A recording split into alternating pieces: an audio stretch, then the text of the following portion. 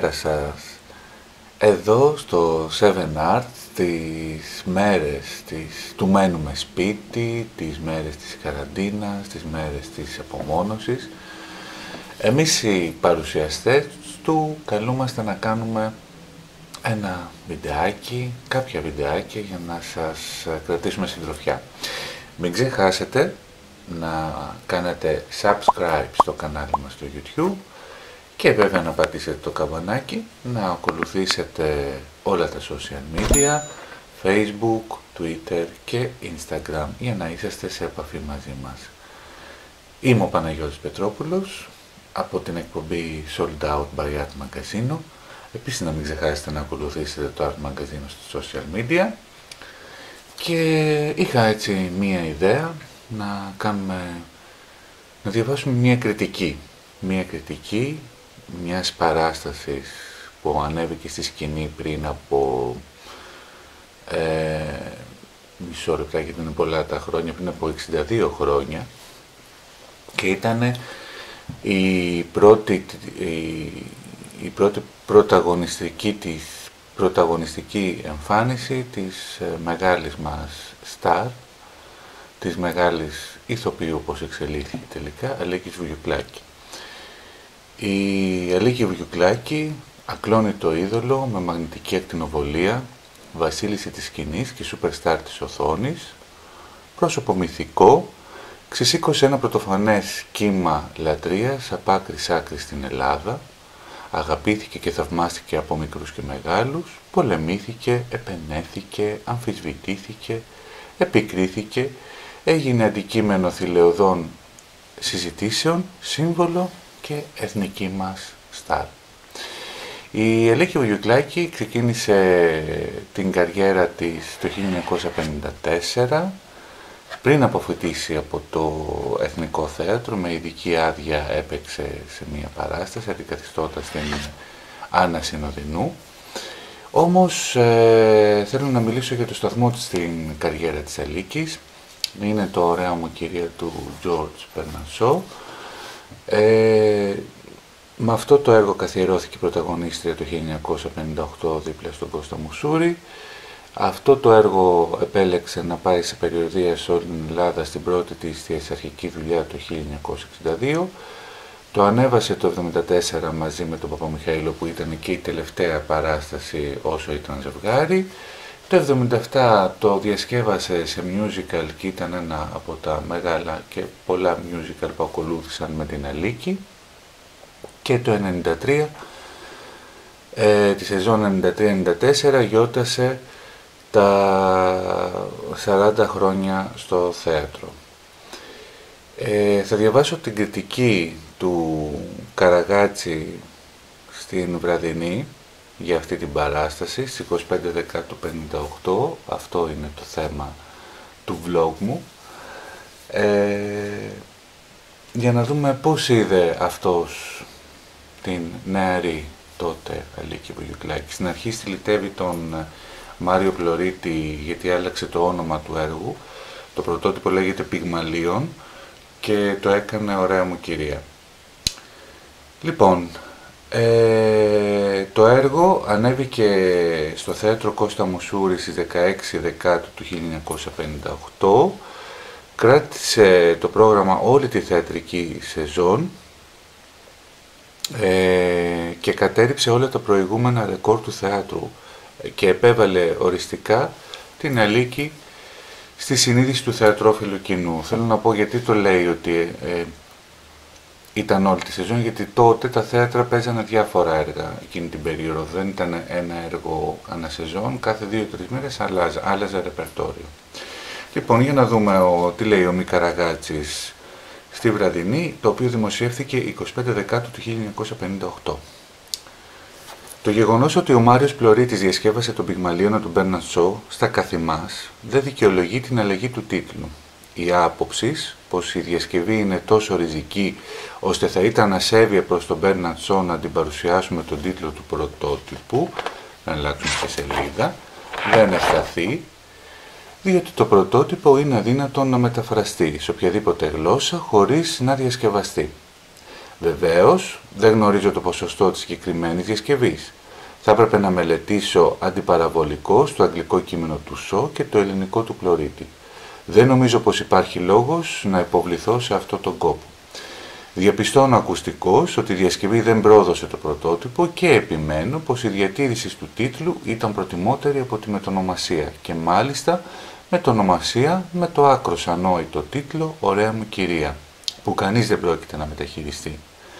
Εκατοντάδες χιλιάδες Αθηναίοι μεταξύ του Οκτώβρη του 1958 και Μάη του 1959 θα πάνε στο θέατρο Μουσούρι να ειδούν τον Πυγμαλίωνα του Μπέρναν Σο και όχι το ωραία μου κυρία του Μπέρναν Σο Μάριου Πλωρίτη. Ναι, 100.000 και βάλε, γιατί το έργο είναι άκρως ενδιαφέρον και η ερμηνεία του πρώτης τάξεως. Θεωρώ, θεωρώ περιττό να σημειώσω, ε, να επιμείνω, συγγνώμη, θεωρώ θε, περιττό να επιμείνω σε λεπτομέρειες. Ο Κώστας Μουσούρης πέτυχε μια εξαιρετική σκηνοθετική εργασία, βοηθημένος από όλους τους συνεργάτες του. Δεν θα κουραστώ να επαναλαμβάνω ότι την άρτια παράσταση την κρίνουμε όχι τόσο από την ερμηνεία των πρωταγωνιστών, όσο των δεύτερων και τρίτων ρόλων. Πρέπει να ειδείτε με τι τελειότητα απέδωσαν τους ρολάκους των η Μαργαρίτα Λαμπρινού και ο Στέφανος Λινέος για να καταλάβετε τι θέλω να πω. Βέβαια, ο Κώστας Μουσούρης δεν είναι μόνο εξαίρετος σκηνοθέτης στο είδος του, αλλά και εξαίρετος ηθοποιός. Βέβαια, η κυρία Μεταξά και ο κύριος και Ξενίδης στέκουν πάντοτε θαυμάσια στους οποιοδήποτε ρόλους τους. Αλλά ο Πυγμαλίων στηρίζεται κυριότητα στο ρόλο της Ελίζας Ντούλιτλ, αν η ηθοποιός που θα αναλάβει αυτό το δύσκολο ρόλο, πραγματικά δύσκολο, δεν τα βγάλει πέρα, η όλη παράσταση πηγαίνει για φούντο. Και ερχόμαστε στην Αλίκη Βουγιουκλάκη. Μέχρι σήμερα μόνο μία φορά την είχα δει σε έναν ανώνυμο ρολάκο σε έναν ανώδυνο ρολάκο που δεν μου επέτρεψε να βγάλω συμπέρασμα για το ταλέντο της. Διαπίστωσα πως ήταν πολύ νόστιμη κοπέλα και σε αυτό το φυσικό προτέρημά της χρωστάει την εντατική χρησιμοποίησή της στο κινηματογράφο, όπου δεν νομίζω ότι έτρεψε καλλιτεχνικές δάφνες. Η πνευματική ποιότητα των ελληνικών ταινιών είναι τόσο χαμηλή, ώστε να εξευτελίζεται και το μεγαλύτερο υποκριτικό τάλαντο. Επιπλέον, μια διαθεσία με εμπόδισε να παρακολουθήσω την πρεμιέρα του Πυγμαλίωνος, με συνέπεια πριν δω την παράσταση να διαβάσω κανένα δυο κριτικές που πολλοί τα μασούσαν σχετικώς με τη Δεσποινίδα Βουγιουκλάκη. Πήγα λοιπόν στο θέατρο Μουσούρι, κάπως δυσμενός διατεθειμένος για την αδοκίμαστη ηθοποιός, στην οποία ανετέθη τόσο σοβαρός ρόλος. Υποψιαζόμουν πως ο Κώστας Μουσούρης ποντάρισε περισσότερο στα φυσικά παρά στα καλλιτεχνικά προσόντα της και ήμουν έτοιμος να τον στυλιτεύσω δεόντως. Ευτυχώς τίποτα από αυτό δεν συνέβη. Με μεγάλη έκπληξη και ευχαρίστηση διαπίστωσα πως η Αλίκη Βουγιουκλάκη έχει τόσο ταλέντο ώστε να βγάλει πέρα ικανοποιητικότατα ένα ρόλο μεγάλος σε έκταση και δύσκολο σε μεταπτώσεις, σαν αυτόν της Ελίζας Ντούλιτλ. Πρέπει να χαιρετήσουμε το γεγονός του εμπλουτισμού του θεατρικού μας κόσμου με ένα στέλεχος που από το πρώτο του, κιόλα, από το πρώτο του κιόλας βήμα απέδειξε πως διαθέτει ταλέντο, πολύ αξιόλογο και πολύ εξελίξιμο. Είμαι απόλυτα αισιόδοξος για την καλλιτεχνική σταδιοδρομία της Αλίκης Βουγικλάκη. Ας μου επιτραπεί να τη συγχαρώ και να της ευχηθώ τα βέλτιστα. Μη Καραγάτσης, βραδινή 26 Οκτωβρίου 1950. Αυτή λοιπόν ήταν η πρώτη κριτική που έλαβε η Ελίκη Βουγιουκλάκη ως πρωταγωνίστρια. Η εξέλιξή της καλλιτεχνικά είναι γνωστή σε όλους μας. Μεσουράνησε για 30 χρόνια σε ό,τι στο καλλιτεχνικό γίγνεσθε της χώρας. Υπήρξε λαμπερή, υπήρξε ε, στάρ, ε, υπήρξε από τους, από τους ηθοποιούς οι οποίοι γέμιζαν τα θέατρα. Εγώ την έχω δει την Ελίκη Βουγιουκλάκη στο τέλος βέβαια πριν πεθάνει τις καριέρες σε αρκετές παραστάσεις. Έχω δει την Αλίκη Βουγιουκλάκη και τον κόσμο που σύρε να τη δει, συνέρε να τη δει. Ε, ήταν απίστευτο, έχω δει το θέατρο Αλίκη γεμάτο, τότε είχε και εξώστη, πλατεία εξώστη, ε, με θέσεις αριστερά-δεξιά και όρθιους πίσω, δεν το έχω δει σε άλλη παράσταση, όμως αυτό το έχω δει σε παραστάσεις Αλίκης. Ήταν ένα φαινόμενο, πραγματικά ε, καλλιτεχνικό φαινόμενο. Α, και θα ήθελα να διαβάσω και κάτι άλλο, το οποίο είχε πει η ίδια, τη στις αρχές δεκαετίας του 80, πριν κλείσω αυτή την ενότητα. Η αχαλήνωτη δημοσιότητα, όσο και αν πονάει, είναι το τίμημα της επιτυχίας και της προσωπικής προβολής. Μπορεί και να μην ήθελα να γίνω βορρά στα θηρία. Είναι στιγμές που πιστεύω πως ό,τι πέτυχα με πολύ κόπο δεν νομίζω τελικά ότι ήταν ο στόχος μου. Η ουσία μου ξέφυγε και το ξέρω. Και θέλω να προλάβω πριν είναι πολύ αργά. Δεν θέλω όταν θα είμαι μια πολύ κουρασμένη γριούλα και κάνοντας απολογισμό να καταλήξω στο συμπέρασμα ότι η περίπτωση Αλίκη Βουλιουκλάκη ήταν πολύ κακό για το τίποτα. Αυτό λοιπόν ήταν το σημερινό μου βίντεο τις ημέρες του εγκλισμού και της, του μένουμε σπίτι και της καραντίνας. Ευχόμαστε να περάσει πολύ γρήγορα αυτό ανώδυνα και να βγούμε όλοι νικητές.